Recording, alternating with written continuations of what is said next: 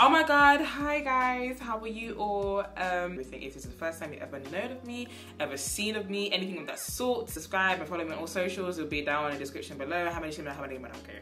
I just kind of want to talk about, yeah, just like trying to like start a new life and stuff because I honestly feel like my old habits and everything, I honestly feel like they're actually obsessed with me. I feel like my old habits are obsessed with me. I feel like I'm trying to change my life, you know, it's January 2020, new decade, you know, man's gonna be 22 in two days, you know, I'm thinking, you know what, let me, you know, you know, get healthy, let me be more consistent, let me actually try big things and everything. But I just feel like every time I try, I just feel like there's this big resistance. I honestly feel like there's this like gravitational pull from the earth. And I realized that it's actually a thing. And I just realized that like when you try to like refrain from your old habits, it's like they're now coming to scream at you. Or if you're, let, let's say like for example, I don't know, I'm trying to be more consistent with gym before I wouldn't really think about it, but now I'm like, oh, you know what, like, you know, my leg, oh, you know, you know, but then I don't know because I ate and now I feel like there's actually no point in this and that. Or sometimes, like, for example, like when I'm like, I want to really, really be consistent with like YouTube and everything, then all of a sudden, oh, I've got too much work. You know, I'm the thing about my content is that I'm such a perfectionist.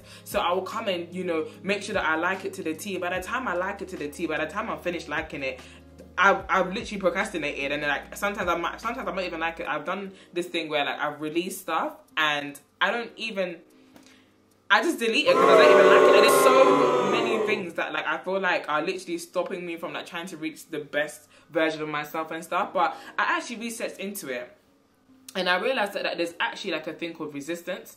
And what this thing is basically is like the the more you try to like, you know, go up. Let's say that if you're going up a hill, the the higher up the hill you go, the more there's going to be a form of resistance. So it's legit like a gravitational pull. Because sometimes, like, if I want to be more consistent, it's now hard for me to be consistent. If I want to be healthy, it's now hard for me to, for me to be healthy. Like sometimes, like I just be shopping, yeah, and now remember what I said, Elaine. No bakery, okay? Let's go.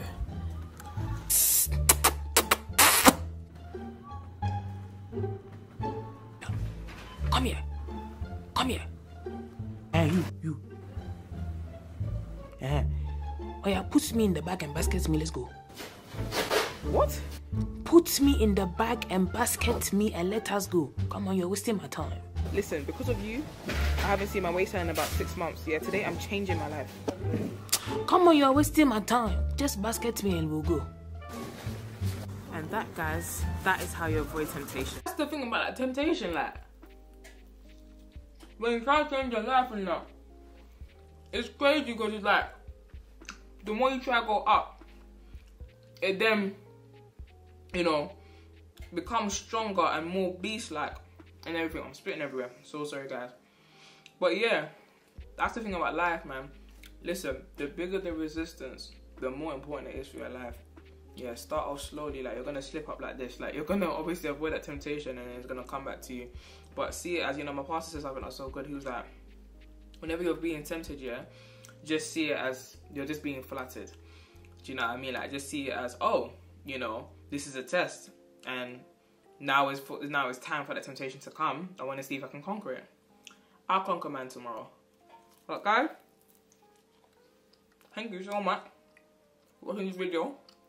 Subscribe, like, let me see more videos. I'm gonna try and post at least three times a week and everything, so gonna be getting a lot of videos from me. God bless.